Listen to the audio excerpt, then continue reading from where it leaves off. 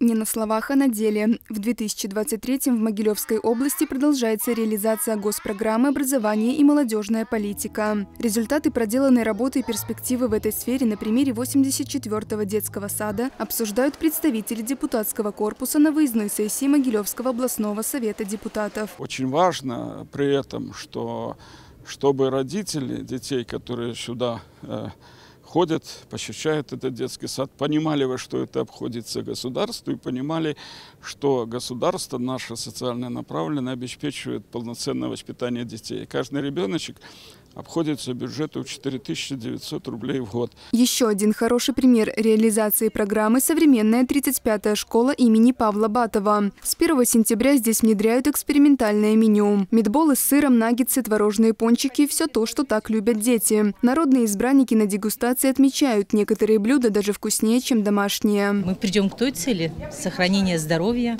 привитие вкусовых э, качеств э, детям, культуры, Э, определенные в питании, потому что все-таки правильное питание – это залог здоровья, а залог здоровья – это залог счастливой нации. Здоровые дети – будущее страны, поэтому большое внимание уделяется спортивному комплексу. Депутатский корпус дарит подарки – волейбольные и футбольные мячи. Я думаю, что они будут способствовать укреплению материально-технической базы вашего э, спортивного зала. Ну и, конечно, работать спасибо. на результат. Спасибо, спасибо. А вам, ребята, удачи!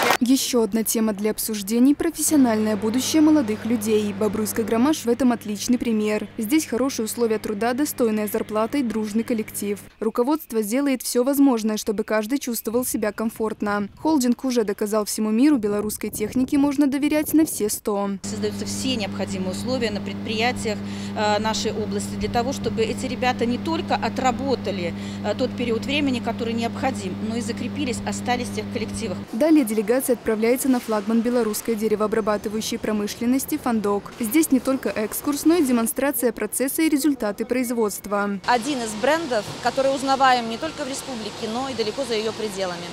Неимоверно приятно познакомиться с предприятием, посмотреть на процесс промышленный изнутри, ну и, конечно же, увидеть результаты этого труда. Эта мебель не просто красивая, экологичная, но еще очень доступная том числе и для всех наших организаций. На заседании Могилевского областного совета депутатов принимают важные решения. Одно из них касается аренды и безвозмездного пользования имуществом. Теперь возможно предоставление торговых площадок пользования отечественным производителям без аукциона и применения повышающего коэффициента. И это только часть новаций. Приятно отметить, что принято решение по Могилевской области, единый подход сформирован, что является гражданской инициативой, какой количественный состав подразумевает это это гражданская инициатива.